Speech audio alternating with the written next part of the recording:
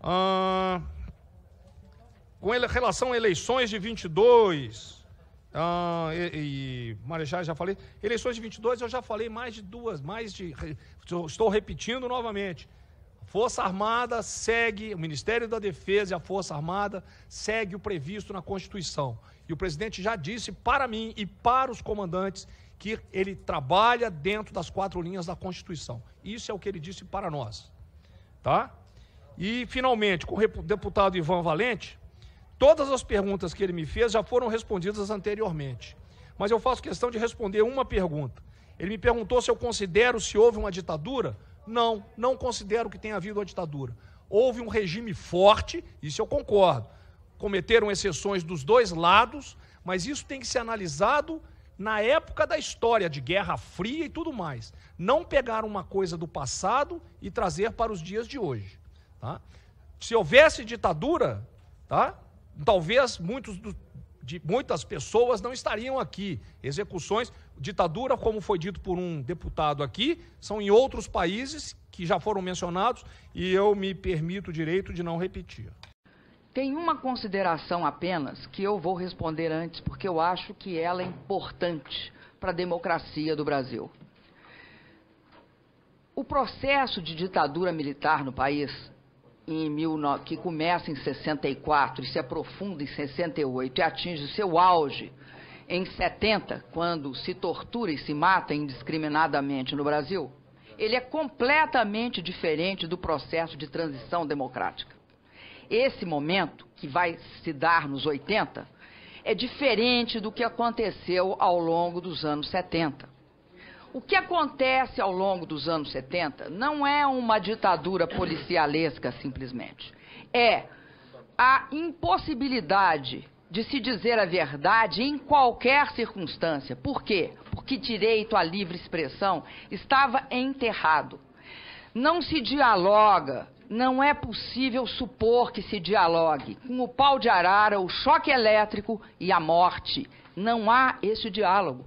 E isso não é só aqui no Brasil que não houve. Não houve em nenhum país do mundo. Não houve na Argentina, diante da ditadura militar argentina. Não houve na Argélia, na guerra da Argélia. Não há a possibilidade de um diálogo civilizado. E é isso que é importante hoje na democracia brasileira. Qualquer comparação a, entre a ditadura militar e a democracia brasileira só pode partir de quem não dá valor à democracia brasileira. Eu tinha 19 anos, eu fiquei três anos na cadeia e eu fui barbaramente torturada, senador. E qualquer pessoa que ousar dizer a verdade para interrogadores compromete a vida dos seus iguais. Entrega pessoas para serem mortas. Eu me orgulho muito de ter mentido, senador, porque mentir na tortura não é fácil. Agora, na democracia se fala a verdade. Diante da tortura, quem tem coragem, dignidade, fala mentira. E isso, e isso, senador, faz parte, integra a minha biografia, que eu tenho imenso orgulho. E eu não estou falando de heróis. Feliz do povo que não tem heróis desse tipo, senador. Porque aguentar a tortura é algo dificílimo. Porque todos nós somos é, muito frágeis. Todos nós. Nós somos humanos, nós temos dor. E a sedução, a tentação de falar o que ocorreu e dizer a verdade é muito grande, senador. A dor é insuportável. O senhor não imagina quanto é insuportável. Então, eu me orgulho de ter mentido. Eu me orgulho imensamente de ter mentido. Porque eu salvei companheiros da mesma tortura e da morte. Não tenho nenhum compromisso com a ditadura em termos de dizer a verdade. Eu estava num campo, eles estavam no outro. O que estava em questão era a minha vida e a de meus companheiros. E esse país, que transitou por tudo isso que transitou, que construiu a democracia, que permite que hoje eu esteja aqui, que permite que eu fale com os senhores, não tem a menor similaridade. Esse diálogo aqui é o diálogo democrático. A oposição pode me fazer perguntas, eu vou poder responder. Nós estamos em igualdade de condições humanas, materiais.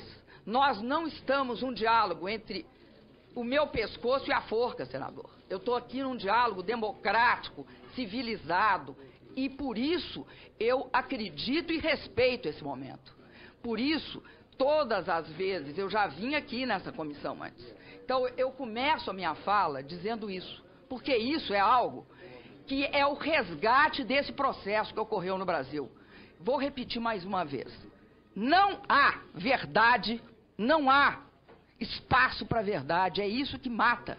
A, a, o que mata na ditadura é que não há espaço para a verdade, porque não há espaço para a vida, senador. Por quê? Algumas verdades, até as mais banais, podem conduzir à morte. É só errarem a mão no seu interrogatório. E eu acredito, senador, que nós estávamos em momentos diversos da nossa vida em 70. Eu asseguro para o senhor, eu tinha entre 19 e 21 anos, e, de fato, eu combati a ditadura militar. E disso eu tenho imenso orgulho.